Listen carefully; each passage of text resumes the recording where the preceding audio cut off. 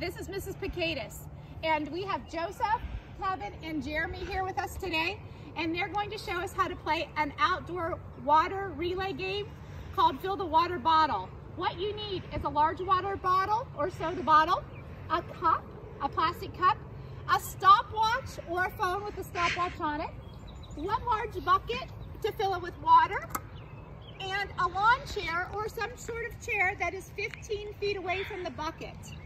And what you do is the person who has the cup fills the water, runs it down, pours it in, and you do it until it's full. We're going to demonstrate through two times.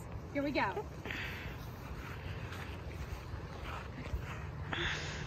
On your marks, get set, go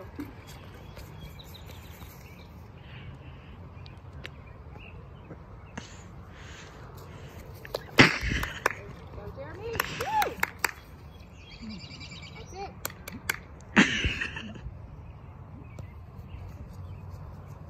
And that's what you do. You, and you repeat the process until the water bottle is full. Thanks. Have a great time. Have fun. Get outside.